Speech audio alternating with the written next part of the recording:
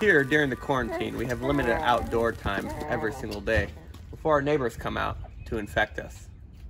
Elijah plays soccer 30 minutes twice a day. If he scores eight goals for every 10 minutes, how many goals has he scored by the end of quarantine in 14 days?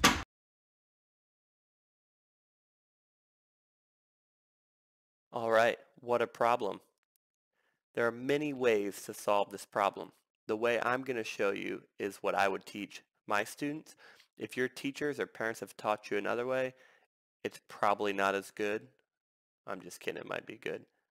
But you can always check your answer at the end, right? And so the first thing I like to do whenever I have a word problem, Instructabeats in quarantine math uses the sides check word problem strategy. If you don't know what that is, that's okay. Check out our awesome sides check song over here, which will explain to you the steps. If you're a teacher, we have an awesome teacher resource as well. But first of all, the S stands for statement. So I wanted to restate the question.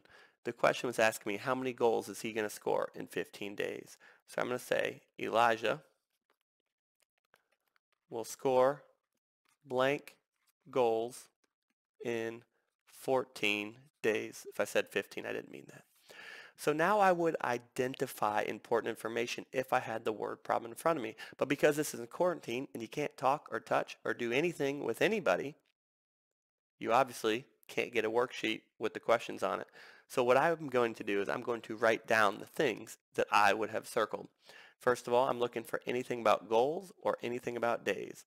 So I know that there is obviously 14 days in quarantine so far. I know that uh, he is doing two times 30 minutes a day, okay, which is going to be 60 minutes per day of soccer. And I know that he scores eight goals for every 10 minutes. Say every, not equal. I don't know what that means, okay? And so what I'm going to do here is I'm actually going to first figure out how many minutes does he have total okay? Because I know that I'm scoring goals for every 10 minutes, so I need to figure out how many minutes do I have total. And so I'm going to do that with a part whole tape diagram, okay? And we do tape diagrams. If your teacher does something else, that's okay. Um, but if you don't, if you'd like to use tape di diagrams, check out our awesome tape diagram lessons that we have. You can probably see the link right here. Um, and so I know that I'm doing 14 days Okay, so I have one day, two days, dot, dot, dot. I'm going all the way to 14 days. And I know I'm looking for how many goals total I'm scoring in those 14 days. Well, the first thing we need to figure out then is how many goals am I scoring every single day?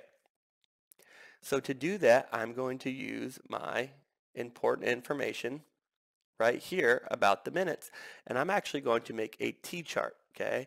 Um, sometimes tape diagrams make the most sense. Sometimes using a T-chart. Whatever you do, have a strategy to show your work. You should never do anything in your head.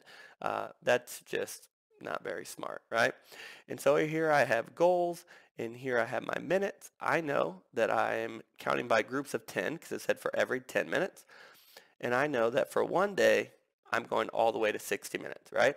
So for every 10 minutes, I scored another, or Elijah scored another eight goals. So that's 24, 32 and 40 minutes, 40 uh, goals in 50 minutes, and 48 goals in 60 minutes.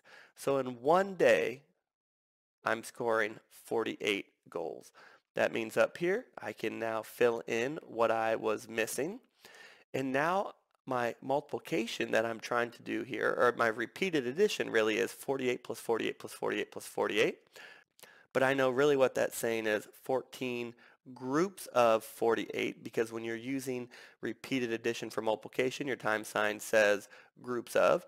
And then all I need to do is solve this to help me figure out how many goals I scored or Elijah scored total. So I'm going to do 48 times 14 if you don't know how to do your standard algorithm of multiplication, go ahead and check out this song that we have and our video playlist on it. Um, if you do partial products something, that's perfectly okay, but it's always awesome to know the standard algorithm. So listen to the song, obviously click like. Whenever you multiply, you go right to left. So I'd have 32. I'm going to regroup my three tens over my tens place. 4 times 4 is 16, plus 3 is 19.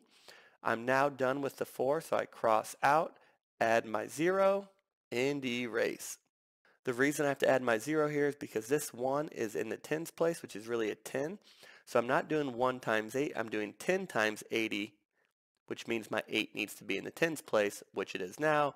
And then 10 times 40 is 400, which again is why I have to have my 4 in the hundreds place. So if you don't add your 0 here, your place values are going to be off, right? So now all you do is you add these together, and it looks like in 14 days, Elijah will have scored 672 goals. I'm not surprised because he's my son and he's awesome. Hopefully you will uh, check us out tomorrow for your next quarantine math. I think it's going to be good. As always, wash your hands, cover your mouth, stay away from anybody that you can right now, not to be rude, but just to stay safe. And that, like we like to say here at Quarantine Math, stay safe, do math. I'm out.